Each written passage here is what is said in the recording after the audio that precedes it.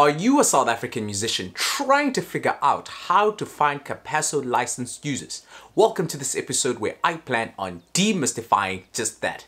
Cue the intro. What's up? It's your boy Skill from skillmusicsa.com and welcome to my channel where I share information with my fellow South African musicians to help them improve on their music business. If this sounds interesting to you, please do consider subscribing. In this video, I'm going to show you step by step how to find licensed users with Capasso. Now, the reason that you want to find these licensed users is that the only way you're going to start generating mechanical royalties is if you are finding users that are licensed license to Capasso. So I'm gonna head over to my PC and show you step by step how to find them and give you some tips on how to approach them. What's up? So the very first thing that you want to do is head to the Capasso website. So I'm gonna just click on Capasso and this is how it is capasso.co.za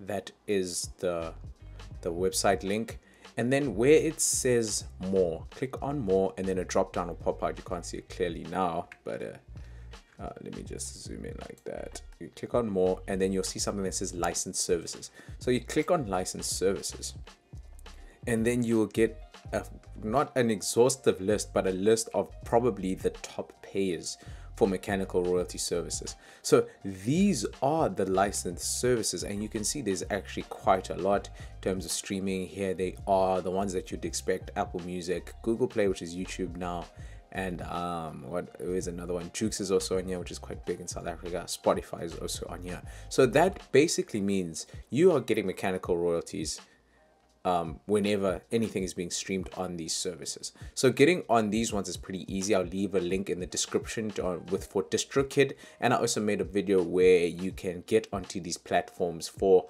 um, for free. We choose whichever one suits you. And then another one which is interesting for download. Um, a lot of musicians are asking where we can put our music to get downloaded. So the one that I typically send most people is iTunes, sometimes Google Play I've been using, but there are other ones that you can possibly tap into. They are all more or less paid. So it's not a free download that you're enabling with most of these services but you can put the price for some of them at very low price but it's another way to get your mechanical royalties.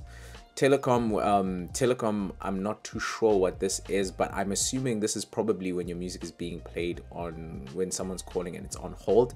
I might be wrong for that one. I've never actually looked into it but i'm just showing you that this is another potential um, mechanical revenue stream that you could actually go into online radio is another one which um, i have tried to dabble in not successfully but you can see that there are actually a lot of possible online radio stations. So getting your music onto here and being able to track it, you should be able to get your Capasso royalties from online radio as well.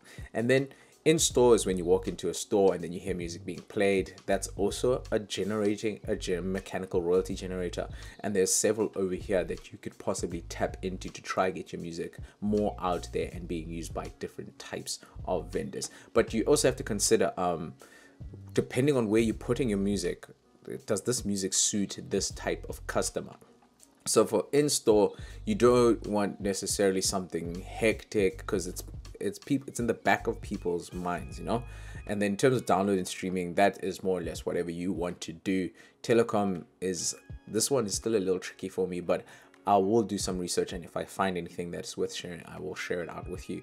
So think logically before you send your music to whichever platform that makes sense. Okay. But yeah, that concludes this part.